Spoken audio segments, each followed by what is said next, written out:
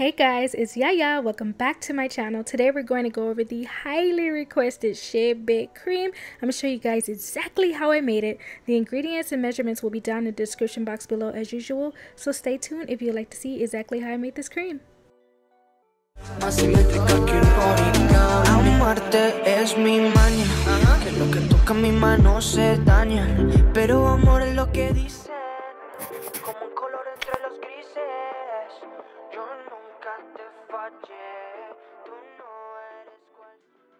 Alright, to make my Chebe cream, I'm using my Chebe butter. If you guys would like to know how I made this, click the link up above. You do not have to use Chebe butter. You can also use Shea infused oil if you would like to incorporate Chebe that way. But this is the way I'm incorporating Chebe to this particular cream.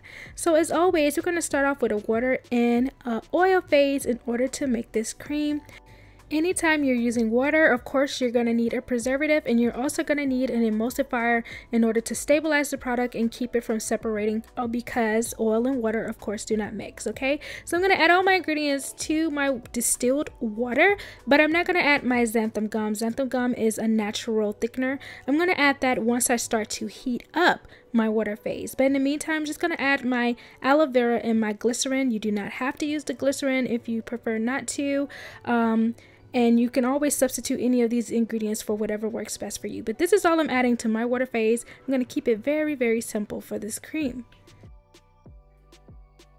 Alright, for the oil phase, I'm using the Shea butter, olive emulsifying wax and I'm also using castor oil. The olive emulsifying wax I'm using instead of BTMS 50 this time. BTMS 50 has more conditioning agents in it but they work pretty much the same okay. So um, I'm to add all of these into my oil phase and of course I'm going to melt them down. I'm to also add my water phase into the same pan that has just a little bit of water in it because I want to heat up my water so that it's to mix better with the oil phase once it has melted down.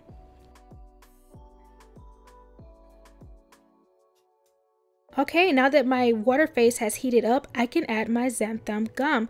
Now, what you want to be careful of is this can clump together. You don't want this to happen, so you want to really, really whisk it vigorously as you add it in. Now, this gets thick super, super fast, so please be careful. Add a little bit at a time. That way it won't get too thick and gummy, okay? You do not want that consistency for your cream. You want it really nice, um, maybe a little jelly-like, so just add a very little bit at a time, and then to your preference, um, once you start to see exactly how it's getting thick, then you can stop or add more accordingly, okay?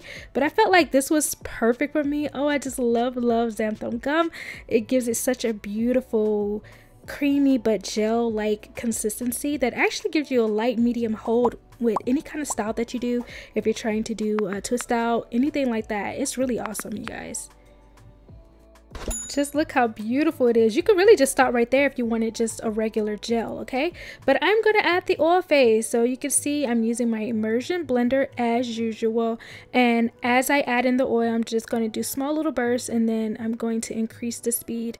Yeah, so I'm going to mix it until I get this beautiful ivory cream. Just look how shiny and beautiful this is, you guys.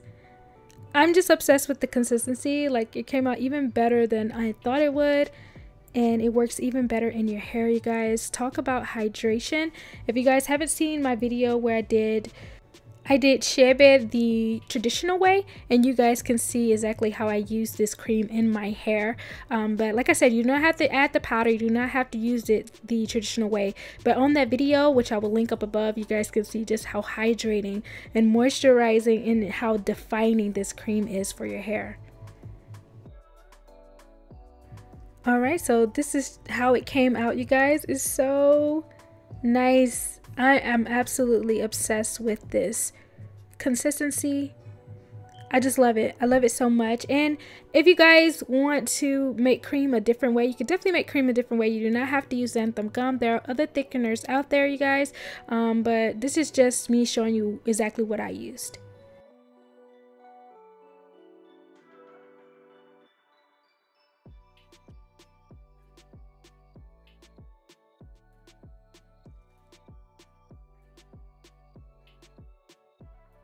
Alright, you guys, so speaking of natural ingredients, I'm going to be using what is considered a natural preservative. Now, I will be talking more about preservatives. You guys know that my preservative series is coming up soon, but I've been doing a lot of testing before because I want to give you guys the best information I possibly can. So, I'm going to use Leucidal liquid. I hope that is how you pronounce it. I'm not sure. Who knows how you pronounce these things, okay? But this is temperature sensitive. It needs to be at a low, added at a low temperature. So I believe anything under 95 should be good.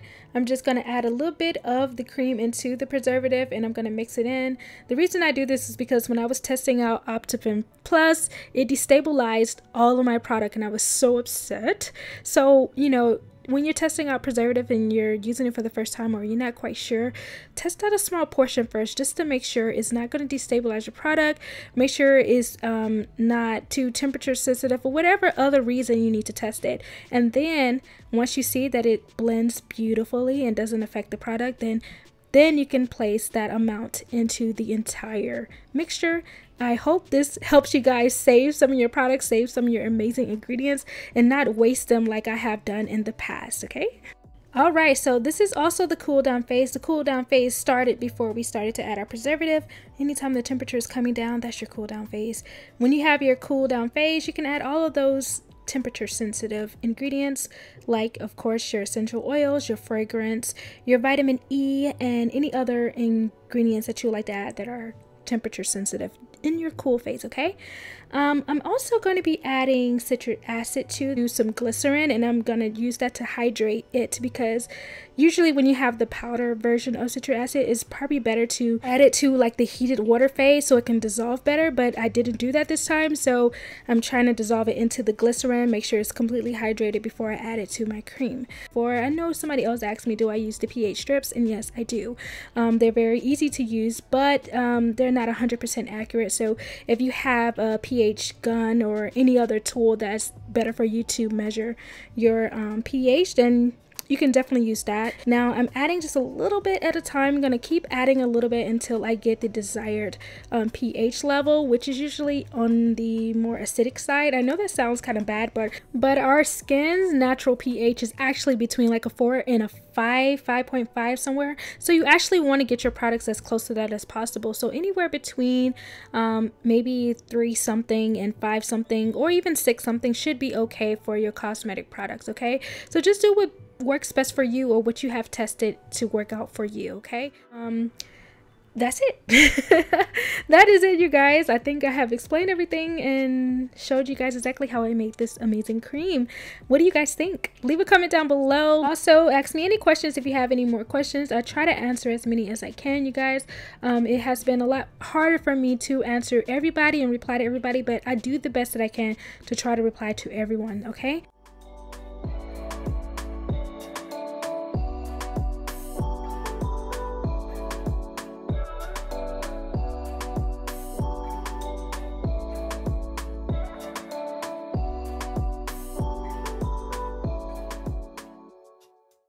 um so yeah that's it you guys. Don't forget to subscribe. Hit that notification bell you guys. This is the only way you'll get notifications and be able to keep up with any of my videos when I upload them okay? Um so yeah this right here is from the previous video. I'm just showing you guys how I added the chebe um, to the cream in order to use it the traditional way okay? You do not have to do this. This is optional. Also the chebe powder you can get from Sahel cosmetics. That's where i got mine from. Uh, i think there are different vendors but that's where i got my chebe powder from and i absolutely love it okay so this is what the cream looks like with the chebe powder in it okay for those of you who do not know what chebe powder is you can go to Sahel cosmetics also to learn more about the chebe powder that i used in this video okay i will also be doing a pre-sale for this you guys, if you'd like to know more information, go down to the description box below. I think I will only have 50 slots open for the pre-sale for the Chebe Cream, okay?